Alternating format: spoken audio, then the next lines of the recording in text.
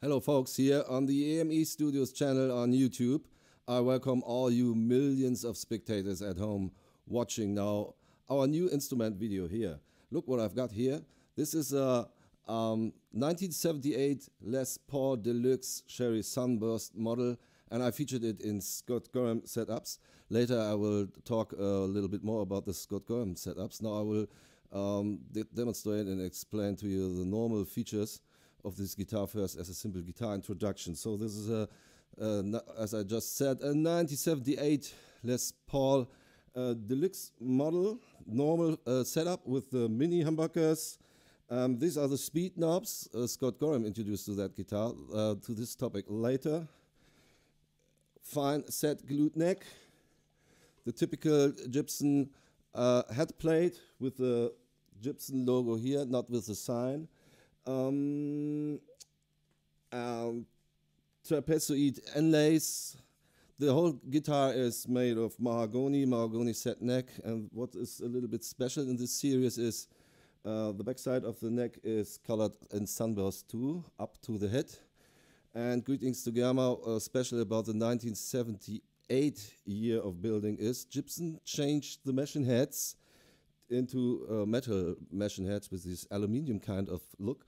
Um, the normal featured guitar there was a machine head with a tulip plastic head. Okay, concerning to the sound of the guitar. This guitar makes a rather good performance in clean modus. I demonstrate you a little bit fast now.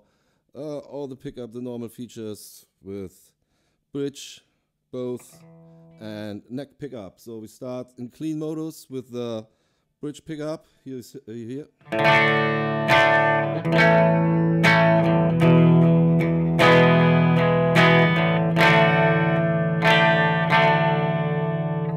Both.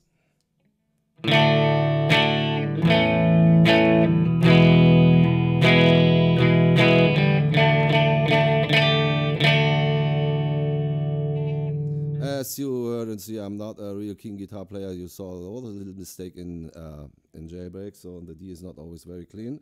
Now the neck pickup, clean.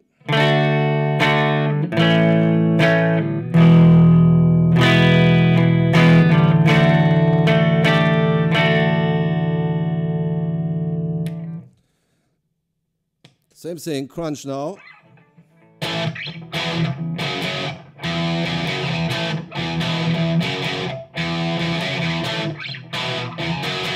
So that was the bridge pickup, now both.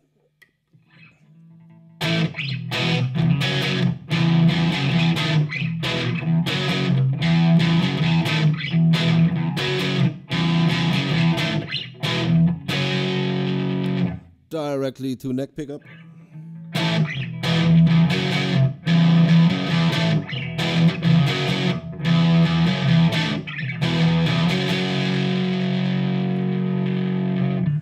Okay, now I switch to the lead channel and add a little bit reverb to it, of course.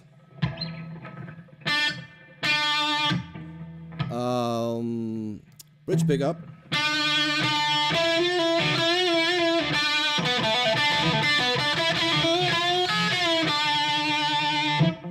Both pickups.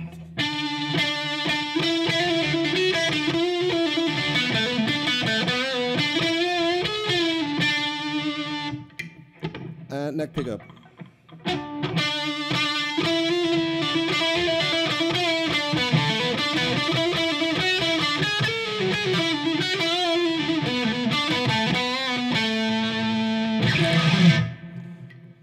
All right.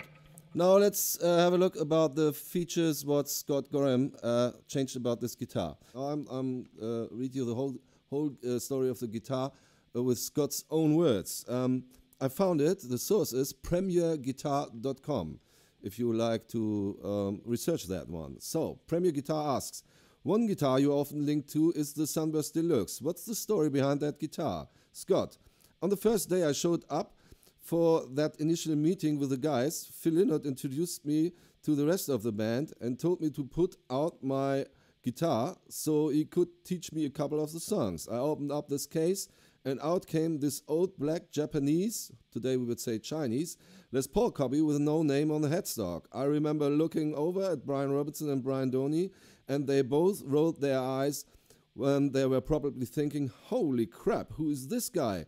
It was such a piece of shit. I think at one point during that first meeting, the volume knob and the screw even fell off.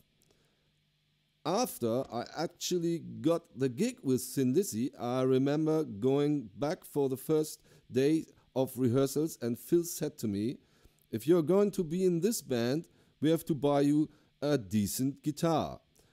Was all wait a minute, we have to buy you a decent guitar. I was all for that, so we went both went down to a place called Tottenham Court Road in London. It's where all the guitar shops were back then. Um, but the problem was we had a real strict budget. Unbeknownst to me, Thin Lizzy at that point was heavily in debt, of course. Uh, so we even get a new, so even even get a new guitar at all was pretty amazing. Of course, I, I went straight to the expensive guitars, and I could see Phil starting to sweat. He kept trying to draw my attention away uh, from the top dollar guitar, so I finally grabbed this Sunburst Deluxe and plugged it in. Okay, that's all for now. I thank you very much for listening. I hope you enjoyed what I told you about Scott Gorham.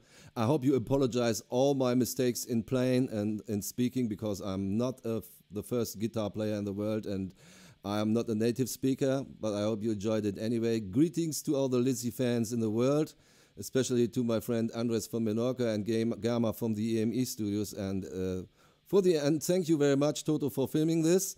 And uh, at the end, I will try again one part of Jailbreak. So goodbye, folks.